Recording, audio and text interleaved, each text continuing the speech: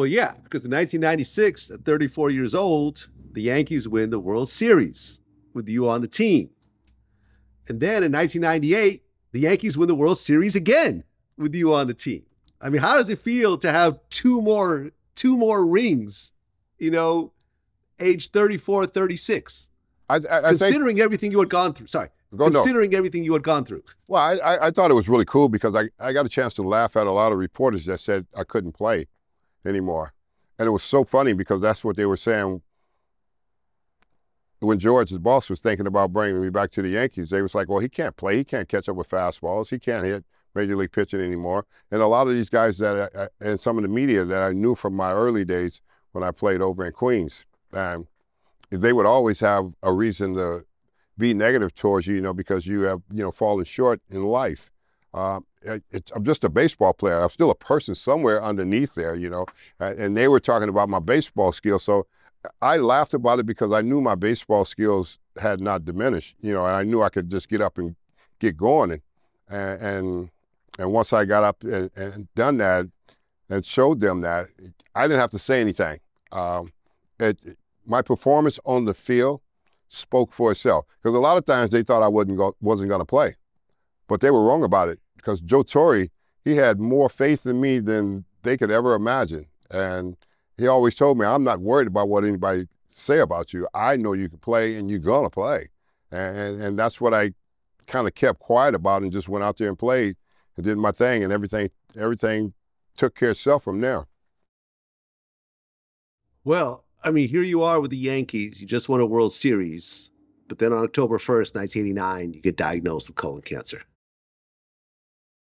A relatively young man, 36 years old. How does how does someone in your position really get their head around such a such a horrible diagnosis? 1998. I played I played that whole year, and that was a good year for me with the Yankees. Um, little did I know I had a tumor inside of me the whole year of playing. I knew something was wrong as the season was going because I started to lose weight. And I had blood in my stool all the time. And I wouldn't say anything about it. I would go to the ballpark and I would drink Maalox every day. Um, I'm an athlete. You know, if, it, if my arm's not cut off or my, my knees, I didn't blow my knee out, I'm to be all right. You know, that's the way we think. And and I was playing and losing weight. And then I went to the trainer at the end of the season in September, and I said, I got a lot of blood in my stool, and you know I've been dropping weight. Uh, what do you think I should do? And they said, well, let's get you into the doctor after the end of the season, the last game of the season. So we wait till the last game of the season uh, that year. And then I went in, and I went in to see the doctor, and they ran the test on me, and there was they found a tumor in my colon, and um, and I was completely shocked because my mother died at the age of 55 from terminal breast cancer.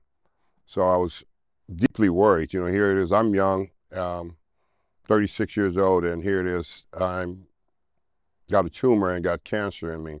You know, and going to find out, you know, that I was going to have to go through a major surgery uh, to to to have that done, and I couldn't go.